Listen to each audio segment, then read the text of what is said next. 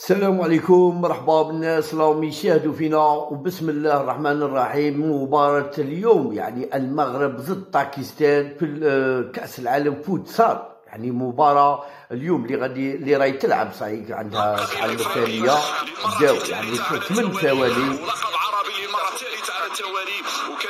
يعني من بطولة بطل. كأس القارات هذه كأس.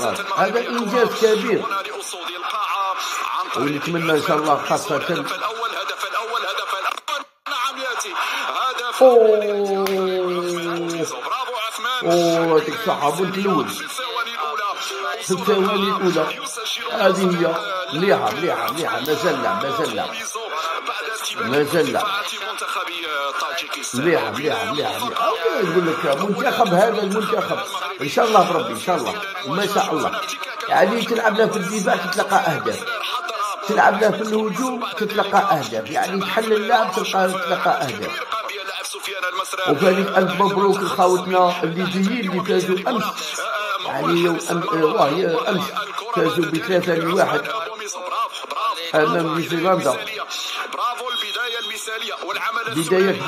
آه، المسري. دقيقة واحدة هدف لصفر.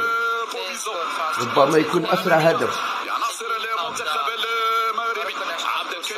واحد،. واحد، واحد، لانس العيان أنس يا سلام يا سلام على المهاره حط الكره بشكل ممتاز. يا عيني على اللمسه من أنس. أنس يبدع في هذه اللقطه عندك لذاك البقالي وكل مبليسين آه، ربي يشافي. اللاعب أدريس الرايس الرايس في ال- في اللامركزيه على مستوى التحرك. هنا الخطا كما يقول لك كاين ربي وكاين يتم جديد الإعلان عنه لفائده هذه هي.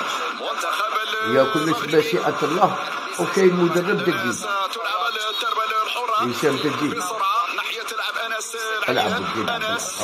وصلت الكرة في لاجئ اليسرى. مهارة آه. جانب الفني سيكون حاضر. بشكل ممتاز. هنا أتوقع من المنتخب المغربي تسديده يا سلام يا سلام يا سلام يا سلام.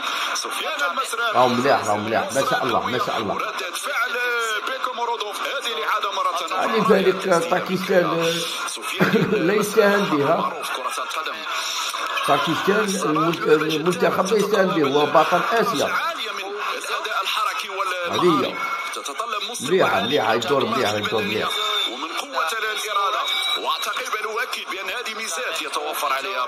المنتخب المغربي خاصة السرعة السرعة السرعة السرعة السرعة في أرضية الميدان اللامركزية في السرعة، التحرك. وبالتالي محاولة زعزعة الخصم محاولة إرباك مليحة، مليحة. الجانب الأول ما في. الثواني الأخيرة في الثواني الأولى مميزين جدا أروح أروح أروح كرة من أنس أروح العيان أروح. على طول بهذه الكيفيه من سفيان سفيان يحاول يمر ولكن وصلت نعم. بعد ذلك لحارس المرمى نعم. يحاول الخروج يا سفيان جهالة سفيان على بالك لكن هو سفيان هذا كو قدم هو كو قدم واضح. قاعد في هنا في قاعد يقرع لها.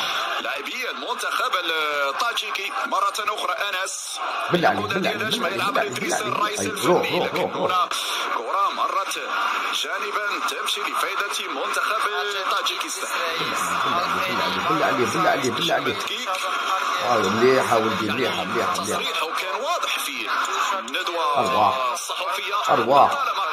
آه، كان مليح. هشام دقيق دائما يقول الجميع أصبح يتحضر للمنتخب المغربي. هو كيف هو منتخب آه، أفضل منتخب في العالم كيف مميز للمنتخب المغربي. وبالتالي أي مباراة؟ يلعب المنتخب المغربي. بأن الفريق المنافس أو المنتخب المنافس يحاول أنه يحضر نفسه بشكل جيد ليطيح به المنتخب المغربي. كل. منتخبات العالم الآن تحاول الإطاحة بالمنتخب المغربي. ولو لاحظتم في المباريات الودية نموذج مباراة فنزويلا كيف شاهدنا منتخب فنزويلا شارك جدا أمام المنتخب المغربي. المباراة اللي انتهت بأربعة أهداف. مقابل ثلاث أنس العيان يلعب الكرة قصيرة ممتاز.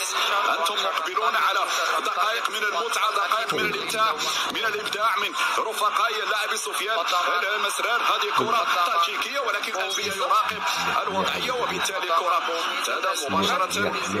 هيا تعال، تعال. منتخب المغرب برافو الخروج تقدير كان ممتاز. هاكا واحدة واحدة واحدة من كريم أنبياء. تالي الامتياز يرجع مغربي. مش سهلة. جانبية معلش بالله. معلش كان هنا محاولة آه. لترويض الكرة من طرف لاعب سفيان المسرى بالمناسبة الحكمة هي الفنزويلية أوريانا مراه مراه هي اللي ال- هنا في في في ال- ال- ال- القيادة. وعاملية كذلك. وصلت الكرة. على جهة اليمنى استلام على طول. طرف اللاعب علي محمدوف علي محمدوف رجعت إلى عبد الكريم لاحظ كيما. سفيان مسرار أنس العيان. أنس حطها بشكل ممتاز. جهة اليسرى. لبسه من إدريس. الرئيس الفني أنس. تحرك ممتاز. أوه. للاعب أنس. آه، العيان مقارنات بين اللاعبين المغاربة هم تقريبا في نفس المستوى لكن زايد بعض الشيء أنس العيان. أنس العيان عنده تجربة خاصة على مستوى الدوري الإسباني ولدينا كذلك صعيبة. هداف الدوري الفرنسي. يتعلق الأمر بسفيان المسرار لاعب لامارواس كرة جارديان رجعت لاعب. لعناصر المنتخب المغربي. ستتم التغييرات تغييرات في هذه الأثناء شاهد لاعب تلعب كيف؟ عند الجارديان التي تدخل في هذه الأثناء مشاهدينا الكرام. دائما الحفاظ على تجيب وين عنده؟ عنده؟ مليح مليح تجيب وين؟ عنده عنده عنده الاخرى عنده التغيير طاجيكية تغطية ممتازة. انطلاقة بهذا الشكل خالد بوزيدو. ظهور لخالد بوزيد البديل الذي دخل خالد بوزيد الآن المجال يتاح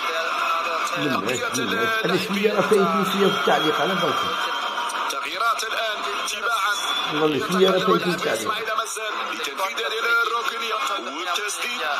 من عثمان الادريسي ومره أخرى تذهب إلى الكورنر.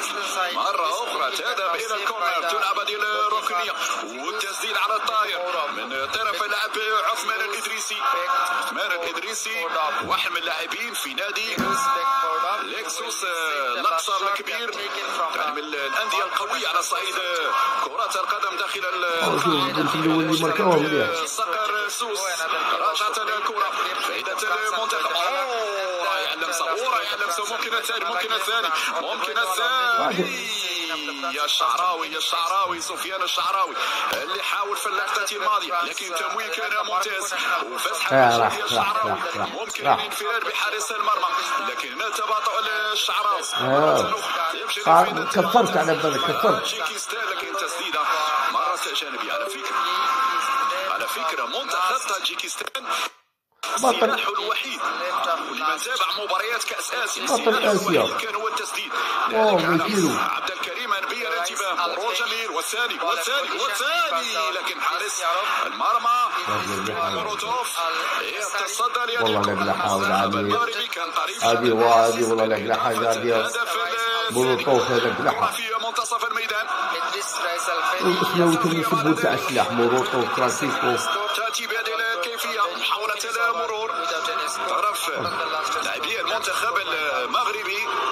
أنا بينهم. اليسرى عشيلهم بالليل رجعت إلى الشعراوي.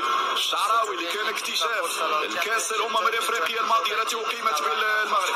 وتقطع ديال الكرة. من جديد الشعراوي. ليس هناك خطأ. يلا يا الشعراوي. يلا يا الشعراوي. ضاعت منك يا الشعراوي. حذر من ولمن. ارتداد الهجوم. منتخب تاجيكستان. ليس هناك خطأ. يلا يا بوميزو في خطا في خطا إسماعيل مازال والتدخل الماضي يا الشعراوي هذا الدقيقه الشعراوي اللقطة اللي كان فيها تدخل في حق اللاعب في الشعراوي. التدخل واضح واضح التدخل. بالتالي ضربة حرة. لا لا. أنتظر هنا الامتياز لمنتخب المغرب. تلعب الجانبية كان في تسرع من لاعبي منتخب تاجيكستان. تمشي الكرة. عثمان طلع وصلت إلى إسماعيل مازال. إسماعيل تحرك ممتاز. والبحث. عن الفجولات من طرف اللاعب خالد بوزيد ولكن بالليل. حارس. يلعب لآلييف. بالله الان واحد صفر. هكذا البدايات في هذه البطولة العالمية. في مجموعة. خامسة. مجموعة التي يتواجد فيها منتخب. لكن أيضا هنا نتكلم عن بطل العالم في النسخة الماضية ليتوانيا. يتعلق الأمر بالمنتخب البرتغالي. مجموعة صعيبة. أمام بنما وفازت بعشرة أهداف. مقابل هدف واحد واضح الرسالة للبرتغاليين. لأوزبكستان من أجل الحفاظ على اللقب العالم مما لن تكون سهلة بكل تأكيد. لمنتخب البرتغال ما تنساوش عطونا j'aime commentaire وبارطاجونا les vidéos تاعنا وإن شاء الله دائما معكم بجديد. ومشي abonné إي أبوني معنا. ما تنساوش تفعيل الجرس وربي يحفظكم.